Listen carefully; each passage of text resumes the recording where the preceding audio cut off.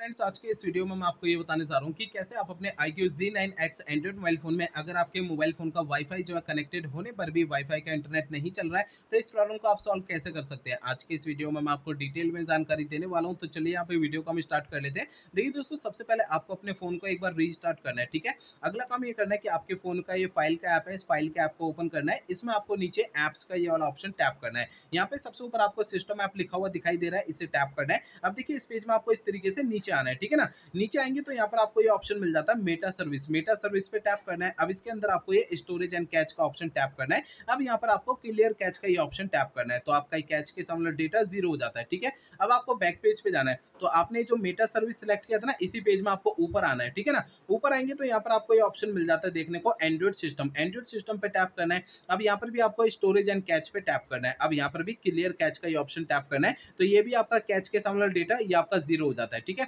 अब देखिए, अगला काम ये करना है इंटरनेट चालू करके मोबाइल फ़ोन का सेटिंग पेज ओपन करना है। सबसे ऊपर ये सर्च आइकन पे टैप करना है। यहाँ पे सबसे ऊपर सर्च बार में सिस्टम अपडेट आपको लिखना है। नीचे सिस्टम अपडेट का ये ऑप्शन शो होता है, इसे टैप करना है। अब देखिए, आप ये गलती से दूसरा ऑप्शन टैप हो गया सिस्टम अपडेट पे टैप करना है। तो आपको इस वाले पेज पे कोई भी अपडेट का बटन या डाउनलोड इंस्टॉल अगर यहाँ पे लिखा हुआ दिखाई देता है तो उसे टैप करके फ़ोन का सॉफ्टवेयर अपडेट करना है, ठीक है?